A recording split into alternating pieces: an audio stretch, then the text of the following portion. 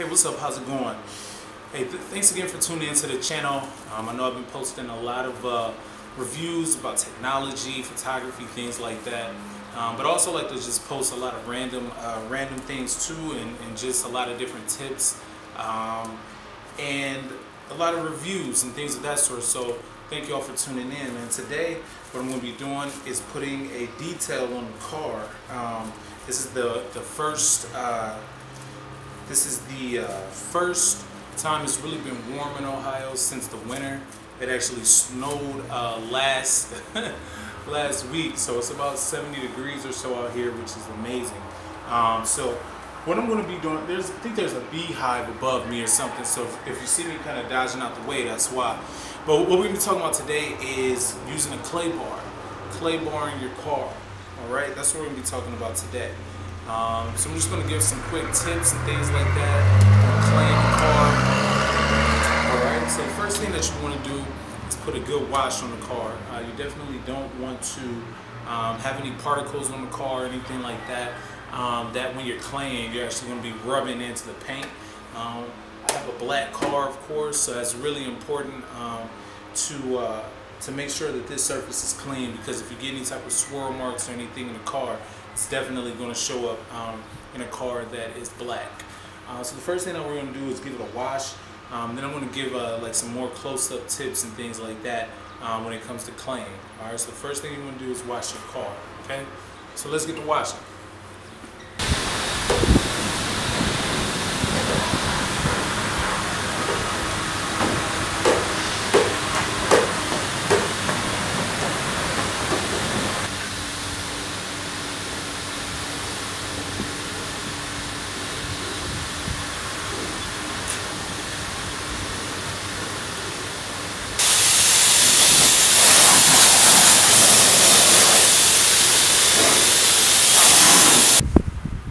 Okay, so we got the car washed and we are ready to start claying.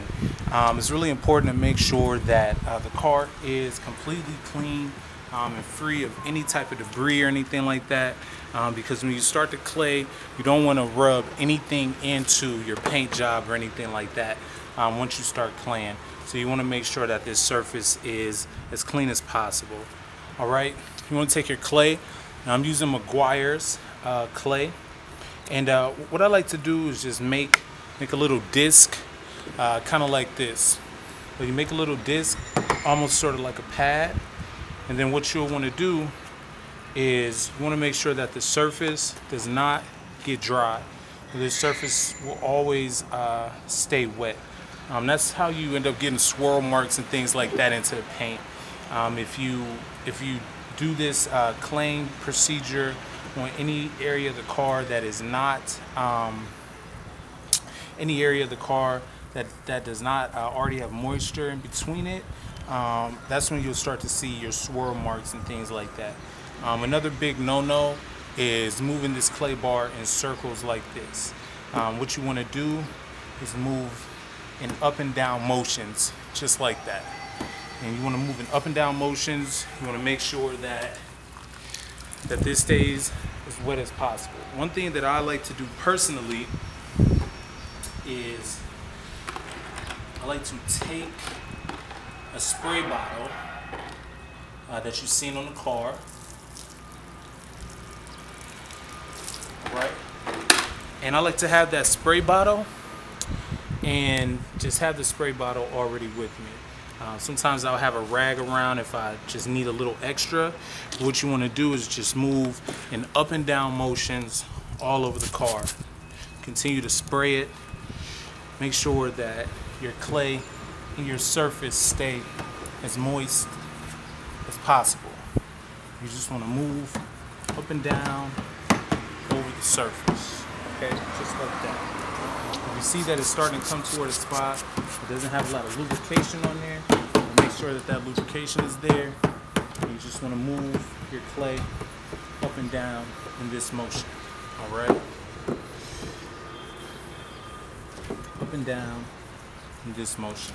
You can use the entire palm of your hand. Um, sometimes I do it that way. or sometimes I'll just use like the tip of my fingers. Periodically, you do want to look at the clay and just make sure that nothing got stuck to the surface. Uh, make sure that it's free from any type of debris because otherwise you're going to be rubbing that debris into your paint job and that's not good. All right. Every now and again, you want to take your clay and you want to just knead it, knead it again into a ball. I'm sorry, into a disc. All right. You just want to take it and just work it back out and knead it again so that you are working with a so that you're working with a clean with a clean piece of clay all right? So we'll just keep doing this motion here up and down as you can see. All the way down. And this is going to give you that mirror that mirror finish What I like to do personally when I'm claying is I I um, have my spray bottle, but inside this spray bottle is a little bit of uh, of the uh, soap. Um, and the particular soap that I use is Rain-X's high foaming wash and wax. That's what I use there. So I use that along with the clay to uh, to make sure that everything is getting in there real nice. All right. So what we'll do is we'll pull the camera back and uh, we'll just show the claying process as a whole. And uh, hopefully you can see exactly uh, what I'm doing here and hopefully it helps you out.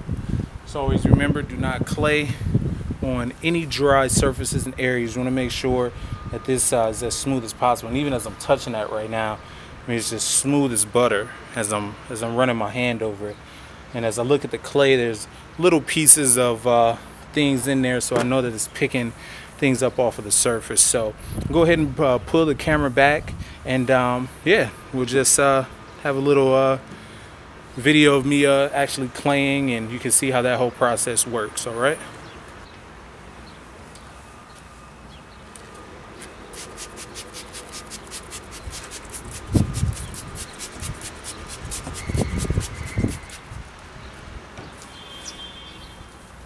See, I'm moving this clay bar just back and forth. No circular motions or anything like that. Right? You just want to move it back and forth. Always uh, keep a bucket around, some water. There's another thing you can do.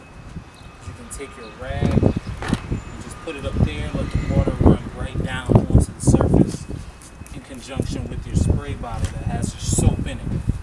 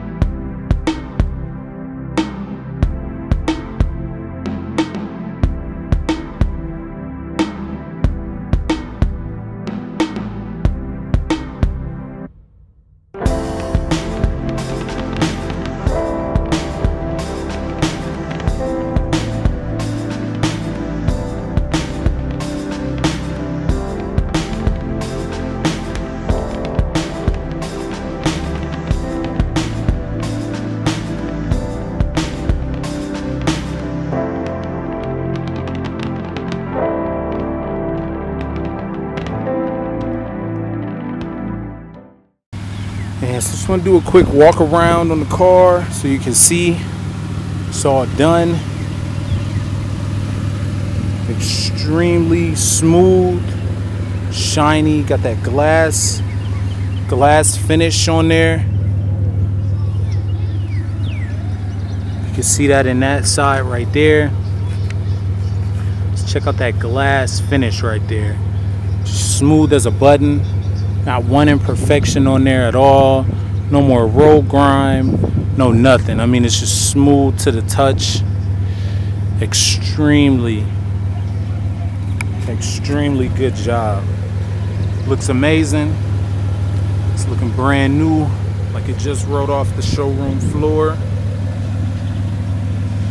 Minus about 100,000 miles.